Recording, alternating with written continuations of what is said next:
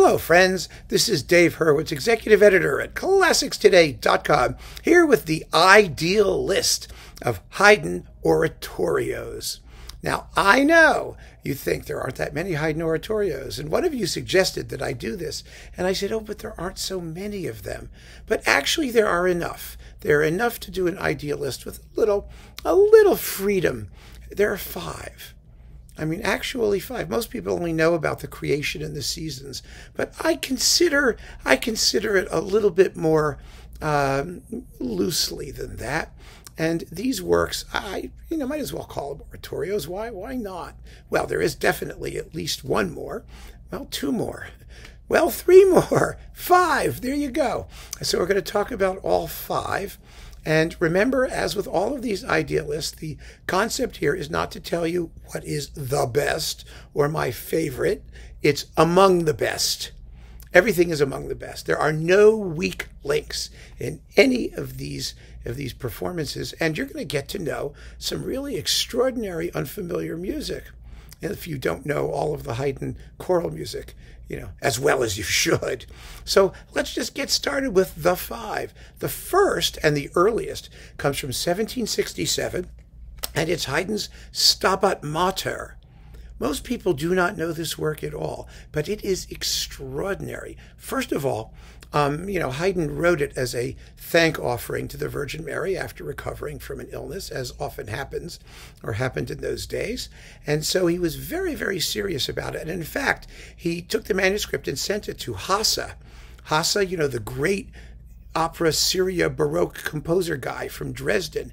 And Hasse adored it and gave Haydn a very, very enthusiastic testimonial which Haydn kept for you know his entire career basically. But it's an amazing work. It's 70 minutes long. That means it is the largest Stabat Mater setting in existence before Dvorak's. I mean, that's really it's really an amazing thing, and it may still be one of the top two or three. It's a very, very intricate, rich, deep work, and more than that, note the date, 1767. This is the the onset um, of Haydn's Sturm und Drang period, when he was starting to explore, you know, the, the, the, the power of minor keys. And of course, this text, which is about, you know, the Virgin Mary sitting at the foot of the crucified Jesus and weeping and suffering, I mean, really, really suits minor keys. There, there weren't that many uh, settings like this. I mean, there just weren't. There was Pergolesi, and you know, there's there's some other beautiful ones. I mean, there's Boccherini wrote a lovely Stabat uh, Mater twice, actually, two arrangements of it. But but this is is on a totally different scale from anything that came before. And people don't give Haydn any credit for that. You know, Haydn gets credit for being succinct and funny and instrumental and usually not grand in scale. I mean, that epithet is reserved for Mozart mostly, because Mozart was definitely grand in scale. He really was. But Haydn could be as well. And he was most likely to be grand in scale in his vocal music and in his sacred music. And this is one of the biggest of all of them. It's an amazing work. It has, it has, let me see, it's got 13 numbers and they're beautifully arranged. There are five choruses and seven arias and one duet. So the duet as you might expect, is one of the longest numbers. It's Sancta Mater is the text, Holy Mother, and it's the exact centerpiece of the, of the work. And the choruses and duets are otherwise arranged reasonably symmetrically around the rest of it. The opening Stabat Mater Dolorosa chorus is nine minutes long. This is not a little, little, little sequence of, of, of unimportant hoogie-googies. It's really, really a big work. And that's why I call it an oratorio. 70 minutes, okay. That it gets to I mean you could call it a cantata, I suppose. But let's let's put it in with the oratorios because otherwise it's just going to get lost in the shuffle and it doesn't deserve to be it's one of the great early masterpieces that haydn wrote and one of his earliest masterpieces in the field of sacred music and and in the sacred music of the period Eh, there's nothing to compare to it. So there you go. And this performance is Trevor Pinnock with the English Concert and Choir, and it is splendiferous. The soloists are Patricia Rozario and Catherine Robbin and Anthony Rolfe Johnson and Cornelius Hauptmann. I mean, you know who most of these people are, and you know they sing very well, and the performance is really, really super. And get to know this piece. You, you owe it to yourself to hear it. It's extraordinary. It really is. So, that's number one. Number two is a true oratorio. It's Il Ritorno di Tobia, or Tobias's Return. Now, you know the story of Tobit, don't you? All know that one, right? From the Apocrypha. And, you know, it's actually sort of the same as El Amor Brujo, only with religious overtones. El Amor Brujo is about a girl who can't get married because the ghost of her dead lover is, you know, frightening away or threatening to kill all of the suitors that come for her.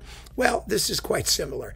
What happens in this one is that is that Tobit is has been blinded and he's a really nice guy and he sends his son Tobias to go to whatever whatever town it is um, to collect some money or something like that. And he meets Rebecca, and Rebecca is being harassed by the demon Asmodeus or whatever you know is as one of those demon things that's killing all of the men who want to make out with her. But Tobias is a very sincere, sweet, holy, nice person, and together working with with uh, the archangel, some other archangel. let me see, maybe he's in here. Is he in here too? But Raphael, yeah, the Raphael, the archangel Raphael, who's a soprano. They they chase away um, the evil demon, and uh, you know, Tobias marries Rebecca and they come back. That's the return part to see Tobit, and his blindness is healed, and everybody praises God a lot. And it's really, really long. This thing, this sucker is three discs, and it lasts a solid, solid, well, it's 10 minutes shy of three hours. It was two hours and 50 minutes it's, it's, you know there's not that many recordings of this. There's the Dorati, which is actually a good three hours. Now Haydn wrote the piece in 1775, and then it was for the Tonkünstler Society in Vienna. You know the Society for the Widows and Orphans of Musicians. So it was for a benefit. And that meant he took a great deal of time with it and care, and it was extremely successful. But immediately, because it was written in the old oratorio tradition with mostly arias, mostly da capo arias, some of which are unbelievably long and very beautiful. I mean, it's good music. And nowadays, you know, we don't really care because we like da capo arias. We like Baroque opera. The period instrument people have restored to favor a lot of music in this style, but not Haydn's. Of course, it's like the Stabat Mater. Nobody thinks about it. But then he revised it for a performance in 1784, where he tightened it up a bit. Can you imagine tightening it up to only a little bit less than three hours? And he added some some really fabulous choruses. I mean, first class choruses that you know, just two of them, I believe, that really, but really matter. I mean, they are pillars of the work and you know created greater contrast and variety and that's the form we know it in now. There was a further revision by haydn's pupils uh, what was his name Neukomm um, in like you know 18 something but essentially this is the form haydn's revised version and it's an extraordinary piece. This performance is on naxos and it features the vocal ensemble Köln, the Capella Augustina under Andreas Spering, who also did a fabulous performance of the creation. It's not going to be in this list, but it's really great. And it was in my talk on Haydn's creation. So there you go. And the soloist, oh my goodness, Roberta Invernizzi. Do you know who she is? She does a lot of those those Handel cantatas on various, you know, Glossa and other labels like that. And, and she's a wonderful singer, a fantastic Baroque singer. And Sophie Sophie Karthäuser and Anna Hallenberg, who Anne Hallenberg, pardon me, is very well known. Anders Dahlin, tenor, and Nikolai Borchev, bass. Beautiful performance, wonderfully done on period instruments. And it, it's another piece that, I mean, yes, it's long, but Handel oratorios are long. I mean, they're long, you know? I mean, it's long. Who cares? If you have the time, give it a shot you're going to be very favorably impressed because the music is top quality. Absolutely top quality. And the arguments about it being long and old fashioned and all that, they just don't wash anymore. Thank you, period instrument people, for proving that works in this style can be absolutely thrilling. And this is. So there you go. Next. Well, we're not quite at the two late ones yet, but we're moving along and we can move a little more quickly as a result of that. There is the seven last words of the Savior on the cross. Now, this is the oratorio version because, as you may know, Haydn originally wrote it as an orchestral work, and that's the way I prefer it. It's a fabulous orchestral work. It's one of his grandest and longest, I mean, it's an hour long, you know, greatest pieces of orchestral music. But it was so overwhelmingly popular that it was arranged for piano solo, it was arranged for string quartet by Haydn. The piano version wasn't, but it was authorized by him. And then some guy made a vocal version of it with a you know and Haydn heard it. He said it was horrible. He said stop. If I don't do it myself they're going to be playing this crappy version made by this this, this, this no one. So Haydn did his own. And it, it, you know it, it, it what can I say?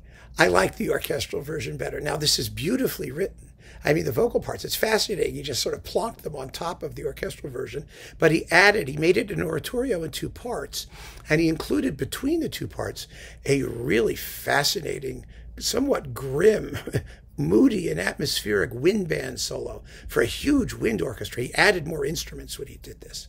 You know, you get timpani, you get trombones, you get stuff. And so he used this enormous wind band and wrote this amazing wind band interlude, a totally separate movement. And so it's really a different work in that sense. And this is Nikolaus Harnoncourt's performance. It's just wonderful with the Arnold Schoenberg Choir and Concentus Musicus Wien and Inga Nielsen and Margareta Hintermeier, Hintermeier, yes, and Anthony Rolfe Johnson. We know him. He was just here on the Stabat Mater, and Robert Holl. So, yeah, an amazing work, an amazing performance, and and definitely an oratorio. So that's three before we even got to the two biggies. But now here they are. So let's talk about them, and we are all set. First, the creation. My my choice for this one is I love this performance. This is on period instruments as well. It's with Thomas Hengelbrock and the Balthasar Neumann Choir and Ensemble. It was part of this big Deutsche Harmonia Mundi box. And I'm not sure if it's available separately anymore, but like his B minor Mass and the other things in here, they were an extraordinary group. I mean, they play marvelously. They have a wonderful timbre. They don't sound thin and emaciated. And maybe because he lets them use a little vibrato, who knows? The singing is fabulous. The Balthasar Neumann Choir is one of the great choirs. It's a tremendous performance of the creation. And I, I could probably tell you who the soloists are if I can find it. Um, wait a minute. Give me a moment here. It's like it's like disc 11, I think, right? Wasn't it? Like 11 and 12. So this must be it right there. Uh, yeah. Here it is. Haydn, The Creation. Oh, yeah. Simone, Simone Kermes and Dor- Dorothee Mields and Steve Dav- Davislim. Oh, yeah, Davislim and Johannes Mannov and Locky Chung.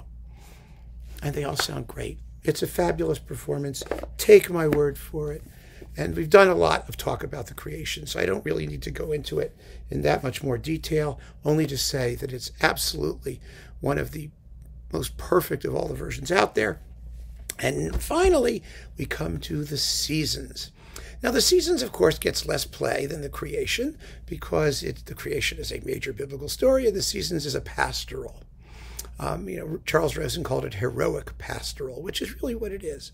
It's heroic and it's pastoral. But you know what we forget about these pieces, the creation and the seasons, again, is that they are certainly indicative of Haydn's grandeur. I mean, he wrote them in the wake of Handel. The, the creation was written to be played by hundreds of people with an orchestra where everything was doubled and tripled. I mean, a huge ensemble, and the and the seasons is even bigger. The seasons was I think, the largest piece of normative choral slash instrumental music before Berlioz. I mean, it's bigger than anything Beethoven did. The orchestra is bigger than that of the Missa Solemnis or the Ninth. You know, it's really, really big. And I didn't wear my tie just for that one mention, I know. But I just wanted to get past it. So there you go. But it's it's absolutely um, extraordinary. It consists. It has four horns, three trumpets, three trombones, contrabassoon, piccolo, extra percussion, And the extra percussion is interesting. Usually it's tambourine and triangle, but the Viennese parts use full Turkish complement, that is cymbals, bass drum, and triangle and other stuff. So you may hear it either way. But the fascinating thing about it is that the parts are like those of the creation and they survive. They show that this work was enormous. It had three contrabassoon parts in it. You know, and they're all different, supposedly you know, it indicate, you know, when the full group plays, when lesser people play, it, it was really big. Double timpani, double brass, incredible. So the performance I chose is really the best of all of those echt Viennese performances. Karl Böhm. You know, Karl Böhm was, this is one of his sort of like wonderful specialties that he did amazingly well and that that uh, you know people don't remember that he did these things and that people think of him as sort of a stodgy stuffy you know german guy. But he was a wonderful theatrical fabulous mozartian and he was a wonderful fabulous theatrical haydn the seasons and this is just a delicious performance. It features the vienna symphoniker not the philharmoniker but you know they're they're wieners the Wieners, it doesn't matter whether they're symphonikers or philharmonikers or schnitzels, they're Wieners. And that's what matters. And you've got Gundula Janowitz, Peter Schreier, Martti Talvela. I mean, come on. You are never going to get a better bunch of soloists. The pacing is wonderful. The, the sound is big and rich and full and modern because this is a modern work. The treatment of the orchestra is modern the style of it, the, the, the, the, the aesthetic is fundamentally modern. The, the tone painting, the hunting choruses, the storm choruses, all of the stuff that Haydn put into it it really it really is a, a, in essence a summary of everything that the classical orchestra could do and uh, uh and it points the way forward far far into the 20th century in fact the horn calls in the hunting choruses are the same horn calls that Respighi uses in Feste Romane I mean, how do you like that from 1920 something? You know, and then the chord call.